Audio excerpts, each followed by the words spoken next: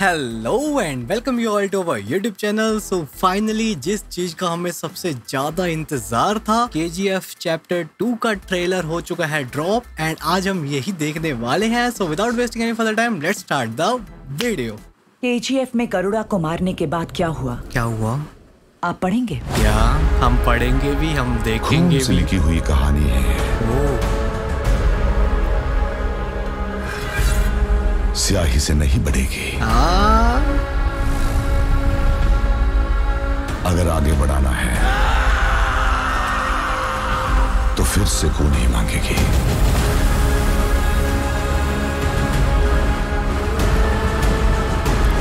Okay There will be no more tolerance.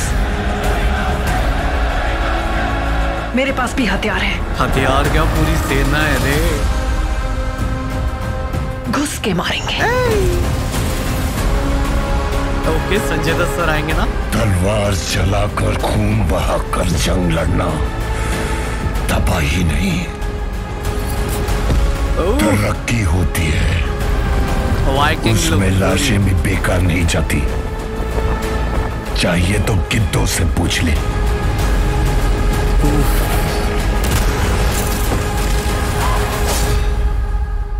the biggest criminal. He is the biggest businessman. This is the biggest national issue.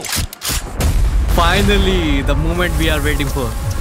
Rocking star Yash is here. Yeah?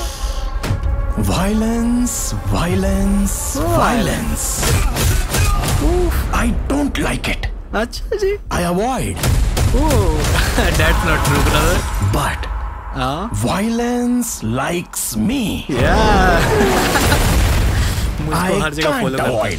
हाँ, वही तो. Without violence, rock is nothing. मैं तुम्हारा सब कुछ छीन लूँगी अच्छा. ट्राई कर लो.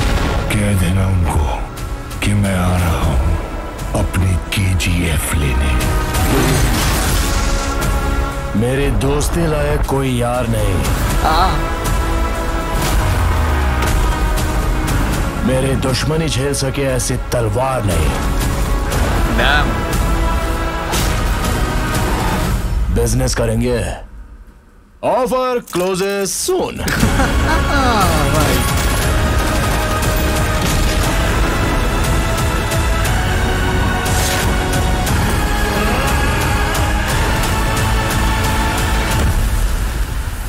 माँ एक दिन दुनिया का सारा सोना तो मिला कर दूँगा माँ। अच्छा ठीक है अभी तू सो जा कल सुबह जाकर ले आना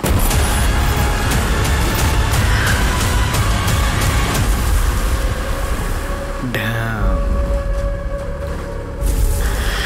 14 April worldwide. So this is the trailer and यार मेरे पास अल्फाज नहीं है। मेरे शब्द खत्म हो गए। ट्रेलर बहुत ही ज़्यादा बढ़िया था एंड 14 अप्रैल को ये वर्ल्ड वाइड रिलीज़ हो रही है। तमिल के अंदर भी हो रही है, कन्नड़ा के अंदर भी हो रही है और मल्टीपल लैंग्वेजेस के अंदर ये रिलीज़ होने वाली है। So I think this is gonna be a biggest blockbuster because हमने फ़र्स्ट मूवी देखी थी, वो इतनी अच्छी थी ना। एंड सेकेंड मूवी का ये ट्रेलर देखने के बाद, भाई साहब। जो सेकंड मूवी के अंदर होने वाला है ना that is on the another level cause वो तो बिगनिंग थी। इसके अंदर जो होगा, वो आगे की कहानी है। एंड वो बहुत ही ज़्यादा डेंजरस लग रही है। जैसे कि संजय दत्त सर का लुक देखो, वो भी आ रहे हैं अपनी आर्मी लेके। एंड ऊपर से वो पॉलिटिक लेडी है, जिसके पास अपनी इतनी सारी पॉलिटिकल पावर है। एंड इतने सारी आर्मी है, वो भी आएगी। एंड ऊपर से रॉकी मैन रॉकी सर जब भी कोई डायलॉग बोलते हैं ना, उनका जो बोलने का तरीका है डायलॉग डिलीवरी टाइम है। एंड जो इम्पैक्ट पड़ता है ना that is on another level जैसे ही उन्होंने कोई भी डायलॉग बोला ना, क्या मज़ा आ रहा था बीच में। एंड लास्ट मोमेंट था ना जो ट्रेलर जो जो एंड करा उन्होंने। लास्ट के अंदर जो उनकी मदर वाला पार्ट आया, वो पार्ट देख के यार मेरे को हमेशा रोना आ जाता है एंड गूस बम्स भी आते हैं at the same time because यार जो इमोशन है ना के जी एफ़ के अंदर